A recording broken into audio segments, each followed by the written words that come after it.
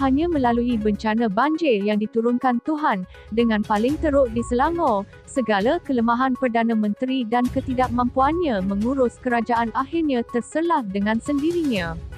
Dengan banjir yang melanda itu, Ismail Sabri Yaakob bukan saja gagal memastikan bencana tersebut diurus dengan cekap, malah tidak upaya meletakkan menteri-menterinya berfungsi dengan baik untuk sama-sama menanganinya mengikut bidang kuasa kementerian masing-masing.